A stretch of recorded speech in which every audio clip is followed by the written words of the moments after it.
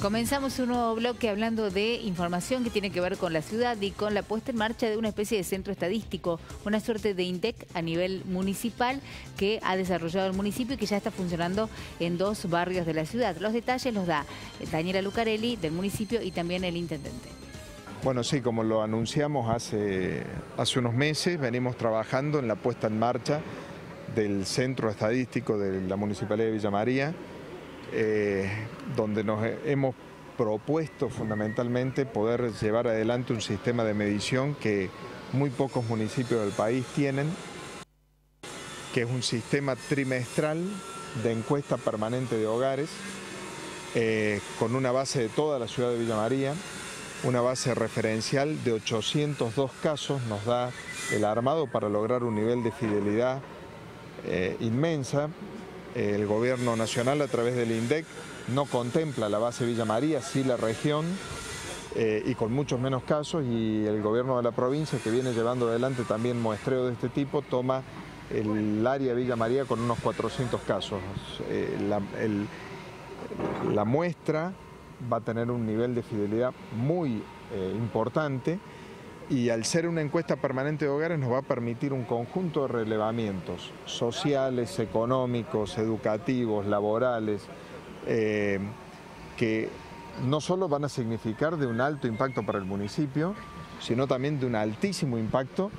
para el inversor, para la actividad comercial, la actividad industrial, para el sistema educativo. Y se va a celebrar un acuerdo con la Universidad Nacional para proveer eh, en materia de encuestadores, fundamentalmente aquellas, eh, aquellas personas que han tenido una formación específica en el sector, en desarrollo local, en sociología, en ciencias políticas, etc. Estamos comenzando desde el día lunes la tarea de determinación de los lugares a encuestar. Eh, que se llaman? Monitoreo y sensibilización de los hogares que ya han sido seleccionados para la muestra, de estos 802 Exactamente. hogares. Vamos a empezar por el barrio Las Playas y por ver Los Olmos a hacer esta tarea, por lo cual se va, nosotros tenemos 802 viviendas o lugares ya determinados en base a lo que han determinado la muestra, el armado sociológico de la muestra, y 802 suplentes de esas encuestas. Con lo cual lo que se va a hacer es una visita a cada familia dejándole una carta donde se informa cuál es la tarea, se le solicita la conformidad y se, también se le manifiesta la discrecionalidad y el secreto eh, que, estadístico que se va a tener, porque además la encuesta es de base absolutamente anónima. Bueno, todo lo que es estadístico se maneja cada trimestre para tener parámetros de comparación, porque de lo contrario no transcurre un tiempo necesario como para poder medir evolución. Entonces se busca la evolución de los mismos parámetros a través del tiempo. Imagínense que nosotros hoy cuando tenemos que trabajar con algún dato del INDEC aplicado a nuestra región, tenemos que tomar el censo 2011 y tomar ese en 2010,